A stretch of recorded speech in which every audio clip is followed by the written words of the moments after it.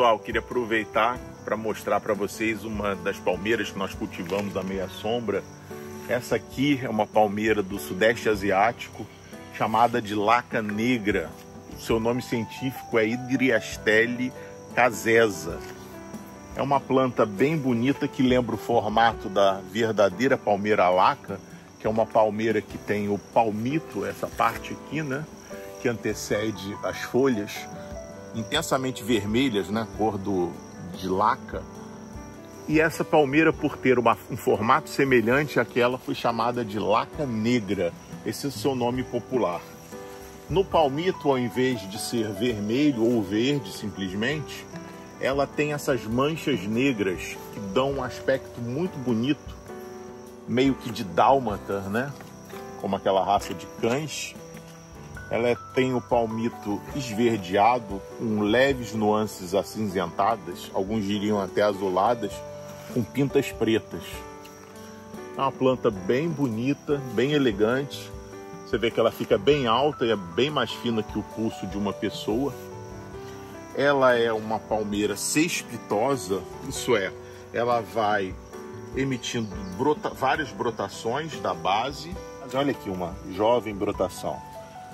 E num jardim o seu manejo pode ser feito cortando a, as plantas antigas ou não, depende do formato. Você vai querer que sua toceira fique mais com diâmetro maior ou não.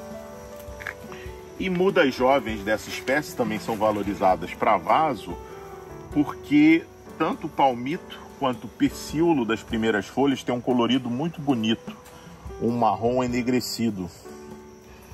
É, nós fazemos mudas em tubete dessa espécie, vamos mostrar algumas depois, mostrando essa característica bem bacana que fica na folha jovem. Ela também pode ser mantida durante vários anos em vaso. Ela não vai crescer tanto quanto aqui. Aqui ela está num jardim, então as raízes ficam mais profundas e ela cresce mais rapidamente. É uma palmeira muito bonita e usada como planta de interior na sua fase juvenil. A laca negra Hydriastele casesa.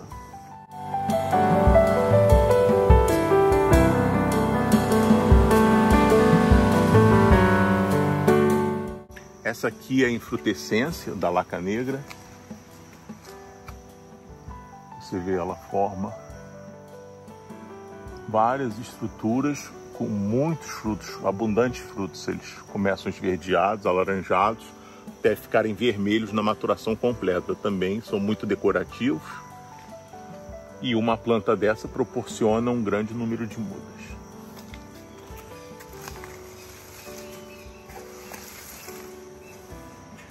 Bom, essa aqui são mudas da laca negra, né? O corte que a gente começa a comercializar.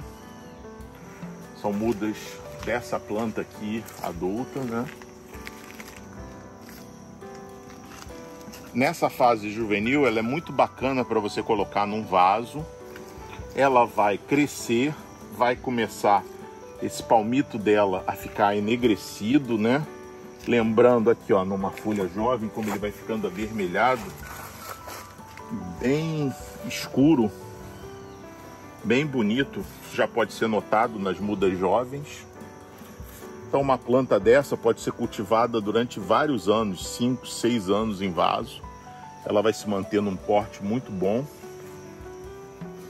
e vai decorar muito bem uma sala, já que é uma planta que gosta de sombra, meia sombra, combina muito bem com o ambiente de urban jungle.